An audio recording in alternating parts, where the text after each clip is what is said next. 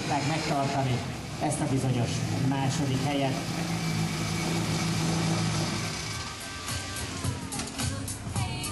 Jöhet a nagy taps Rally 2-es mező második helyezettének.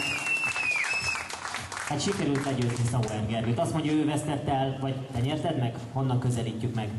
Teljesen milyen, mindegy ilyen szemszögből nézzük, nagyon örülünk neki, hogy uh, sikerült így végezzünk a mai nap.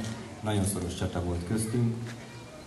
Kezdünk mi is egy kicsit afele hajlani, hogy így, így nem, tök mindegy, hogy uh, mi van, bármikor becsúszhat egy apró, apró kis baki, de nagyon örülünk annak, hogy itt lehetünk ezen a verseny, és jó volt, szuper. Élményre minden oké okay volt, klappolt ezeken a murvás pályákon, várunk majd ide vissza benneteket a díjátadásra, amikor is fönt lesz majd a győztes autó. Ez néhány pillanat múlva elérkezik, de először még egy tapsot hagy kérjek a 202-esen. Itt a Vizeli Károly Vizeli jobbágyéval.